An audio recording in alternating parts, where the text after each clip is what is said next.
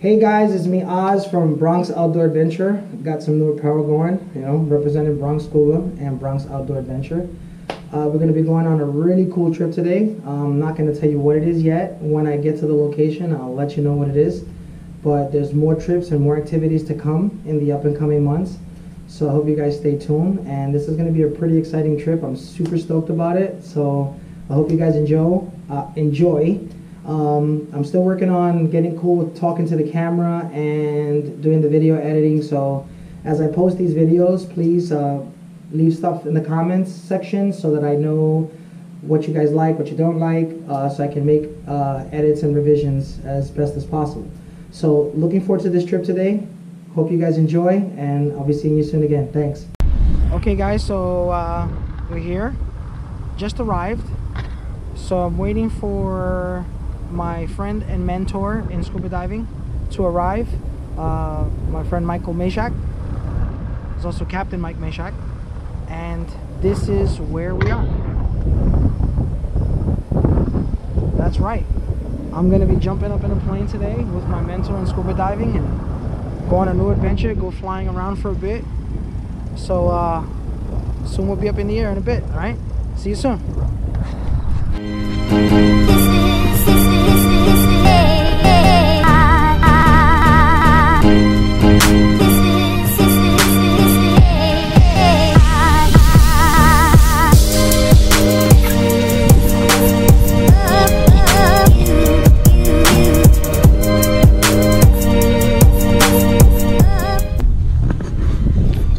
You get into flying, Mike?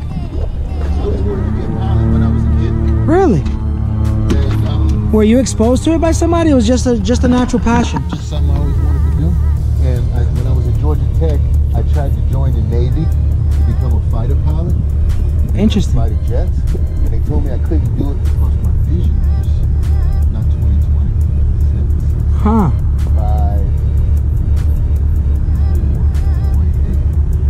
Later I found that I had a roommate at Georgia Tech. Uh, his father was a mechanical engineer. His father owned a Cessna aircraft. Used to fly to Atlanta from Memphis, Tennessee, pick up his son, and they go freaking quail hunting on the weekend. I'm like, oh, really? You could do that? In America? You could own your own plane? Jesus. That was it for me, bro.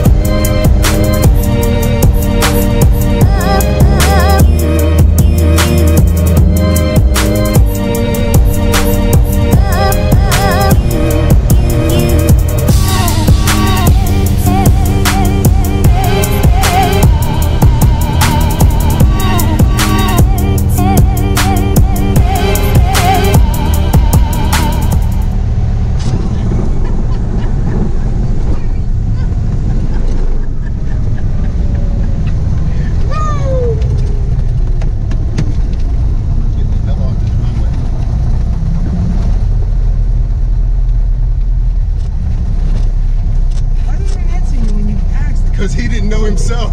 He was freaking out. What should I do? What should I do? How good a pilot is he? All right, let's just get the hell out of this place. All right, Cessna 433 is clear.